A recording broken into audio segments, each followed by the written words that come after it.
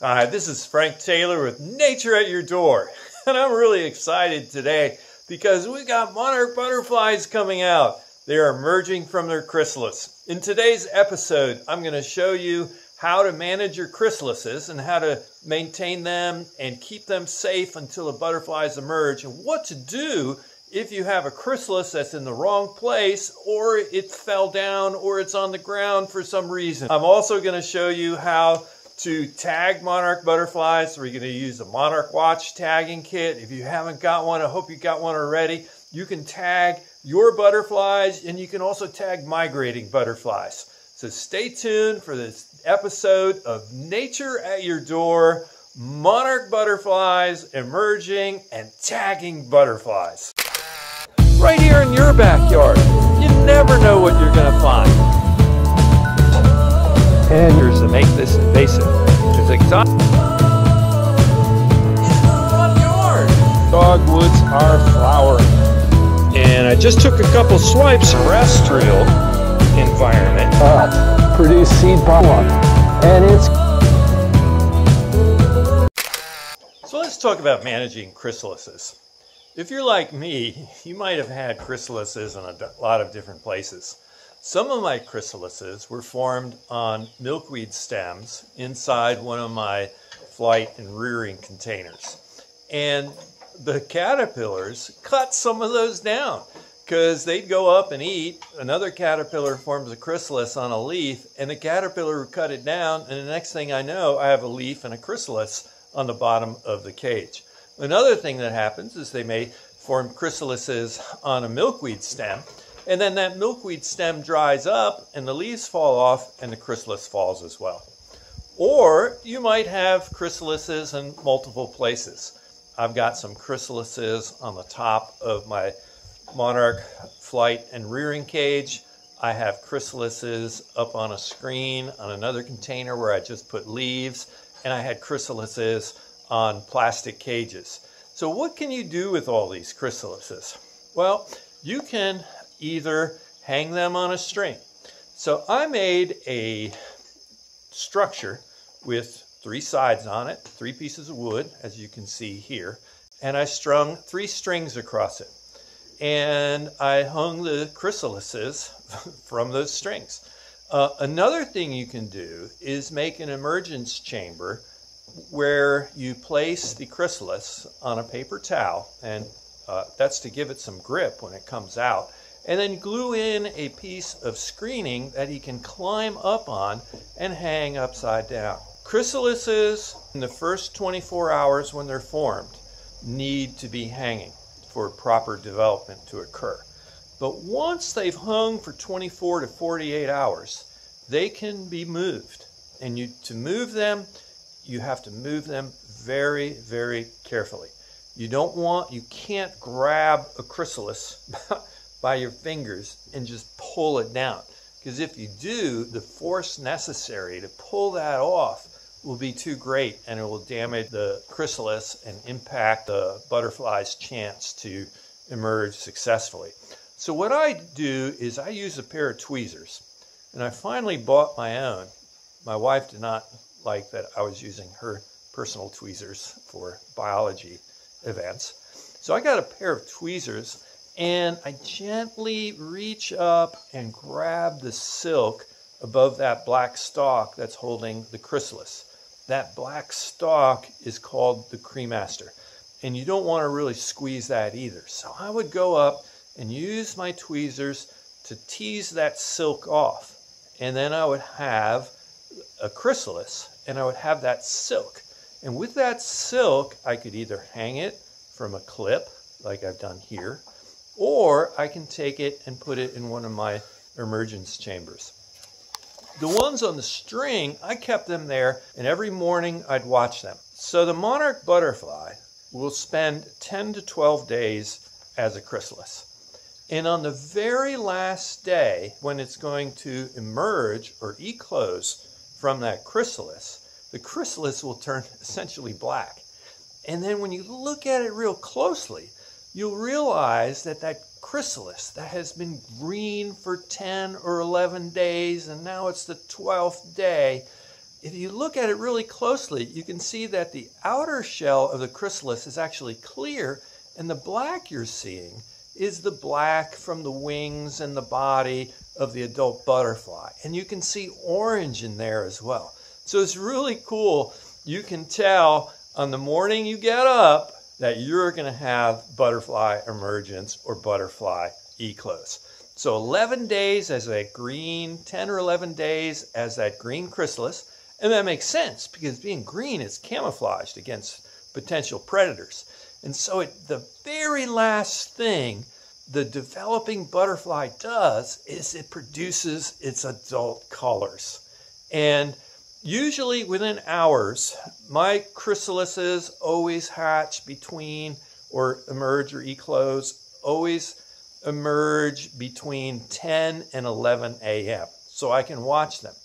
One of the concerns is if a, and this is why I move some of these chrysalises from the places where they are to a place where I know they can emerge safely, either in an emergence chamber or somewhere where I've given them the opportunity. If they fall when they come out, they can climb back up again. Why is that important? Because they have to hang upside down. If they fall and they can't climb up because they're in the plastic container with smooth plastic sides and they can't climb up, climb up, their wings will not develop properly. They'll be dried, they'll be wrinkled, they'll be shortened, and they will not be able to fly and effectively ending that butterfly's life.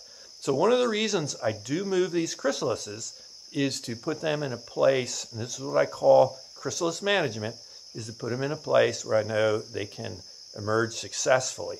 A lot of times I'm there when they do, and if they fall, I would be able to pick them up. But if I'm not there, this is a secure way to ensure that the butterfly can emerge on its own. Because remember, in nature, it's out in a meadow. If a butterfly falls when it is emerging in a meadow, it's got grasses and twigs and all sorts of things to climb up on, not the smooth sides of a plastic uh, terrarium. So here's a look at what I hope you will get to see at your house if you've got some monarch caterpillars. This is the actual moment of emergence of the monarch butterfly. As you can see, he came from that chrysalis that, that had turned black, not because it was black, because the outside of the chrysalis was clear and he had developed his final colors underneath that chrysalis. And you can see at the moment of emergence how small his wings are compared to his abdomen. What's going to happen is the abdomen is full of fluid, and you can see it's much, much, many times larger than a normal butterfly or monarch butterfly's abdomen. And if you watch very carefully during this video clip, you're going to see that abdomen contract and it's pushing fluid into the wings. And slowly those wings are going to start to get bigger and expand as the butterfly pumps fluid into them. This whole process of emerging from the chrysalis and pumping the wings up to full size only takes nine or 10 minutes. I took a nine minute video and by doing some liberal editing, I cut it down to two minutes. So what you're seeing here happened over a nine minute period, and I've just cut it back for you. Within minutes, these wings will be full size. However, the butterfly won't be able to fly right away because the wings are very soft and flexible and they're going to dry and harden into wings that it can use to generate power and flight. This butterfly, programmed by shorter day lengths, will be set to fly 2,000 miles to the Transvolcanic mountain range in Mexico. So now I have four monarchs that are ready to go. They've hung for over 24 hours, and I put some nectar producing flowers in the flight cage with them, and they're ready to go on their way. So I'm going to tag them. So I'm using the Monarch Watch tagging kit, www.monarchwatch.com.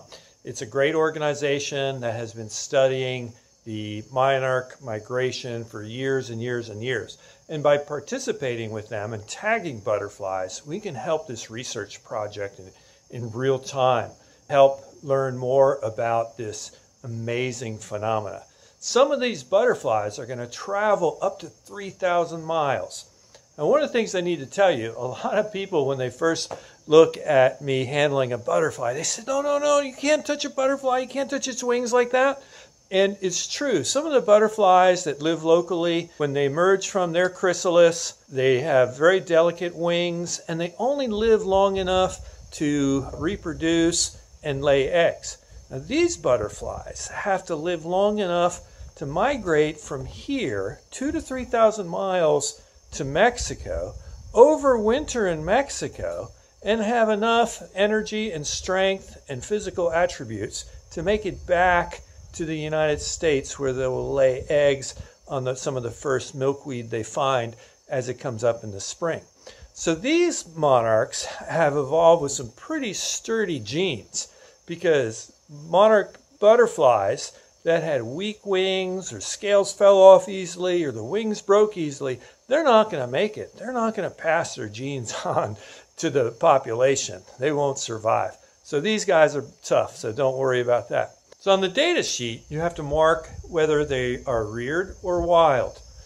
I'm going to mark all mine as reared because some of them I reared from eggs and others I took as a fourth or fifth instar larva from milkweed and kept them until they pupated. I'm going to mark them as reared. The other thing you need to do is mark whether they're males or females. And this is relatively easy to do. You have to look at the butterfly when its wings are spread open like that, so you can see the insides of their wings. On the females, the lower wings have uh, very thick black lines on them. The males, the lines are thinner, and there's a very distinct pouch on both wings on both sides. So check that. Let's tag some butterflies. So I've got some butterflies here that are ready to tag, and I've got our tags from www.monarchwatch.com. They have a really good procedure laid out. You can see their procedure on the internet or on the uh, in the tagging kit they send you.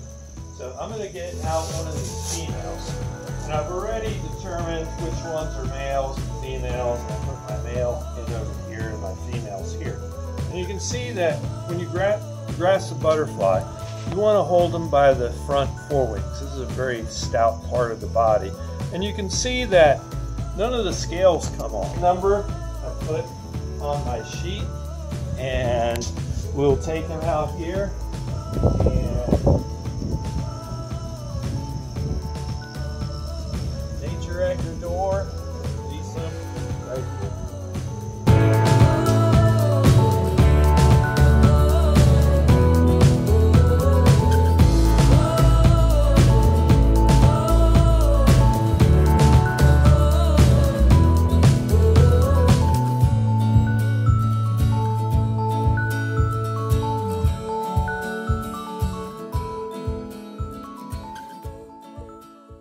hope you enjoyed watching the series I did on the monarchs of the summer of 2020. This was my eighth video in the series, and I'm looking forward to next year to coming back and filling in some of the gaps. I hope you were able to participate. I hope you saw monarchs, found monarchs, maybe reared some, maybe had some of the experiences that I shared with you that I had as I followed the monarchs from milkweed to tagging. There is so much to learn about the monarchs. I've always thought I could teach an entire year long biology class just based on monarch biology and cover all the national science standards for a year of biology. I hope you will follow your own curiosity. Follow up on things that I hinted about or didn't follow up, or things you were curious about, or things that you had questions about. There's great, great, great resources available to you on the internet. And I always say, if you're watching me, then you have access to the internet and you have access to the whole world. So follow your curiosity, ask questions, write me questions. Thank you for watching. If you like what you saw, please subscribe and share with your friends and, and teachers and people that may be homeschooling. That's what this is really for. I'm going to go back and edit a video on fishing spiders, a video on what black snakes can climb, and we're watching the black snake really go through the paces. And I got a video coming up on the red spotted newt, and I was able to find all three stages in the same day. So I put together an episode on that. Stay tuned. Thanks for watching.